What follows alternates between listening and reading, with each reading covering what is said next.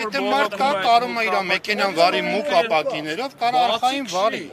Դա ոչ մի խնդրեմ չի առաջացնում վարորդին, որ ասենք վարորդ վարորդը մուկ ապակիներով վթարի է ենթարկվել։ Չկա այդպես բան։ Ես իմ սաղ կյանքը 16 տարեկանից 14 տարեկանից քշում եմ մեքենա, հələ չի եղել որ մուկ ապակի պատճառով ես վթարի ենթարկվեմ։ Ու թութութու հələ չկա վթար պարկաստում։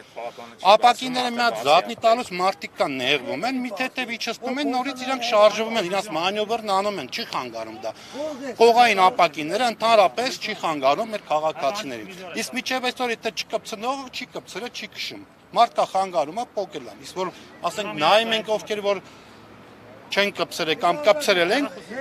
խաղակի 90%-ի մեքենաները բլոկած է սա տեսանելիություն եթե մի հատ խնդրեմ լինում արդեն չեն կարող կպնում են մեքենաներին Մեքենա չի թույլատրվում մտնի Հայաստան, ես իմ որ տարեթվից։ Մարկա ունի 2000 դոլար, ուզում է գնա մեքենա բերի Վրաստանից։ Էժան անդե Ռաստամոշկեն 6000 դոլար է։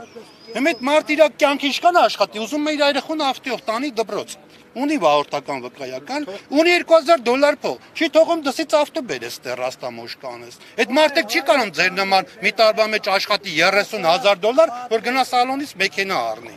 Ինչ խնդրեմ լինում, ավ կուժնուկունը շոֆերների գլխին է ջարտվում։ Կանիստից քերենք, սրանք շատ են, էլի։ Այստից փոկենք, բռնենք։ Այդ նույն մեքենաներն էին պլոնկ արած, որ իրանց իշխանություն եկան։ Այդ նույն մեքենաներն էին, որ ճանապարհները փագեցին, սիգնալները տվեցին, պլոնկ արա Շուշեկի մեջ գիշեր ցերեկ մի շաբաթ ապրեցին, իրանք եկան իշխանության։ Էսի ի՞նչ տարա։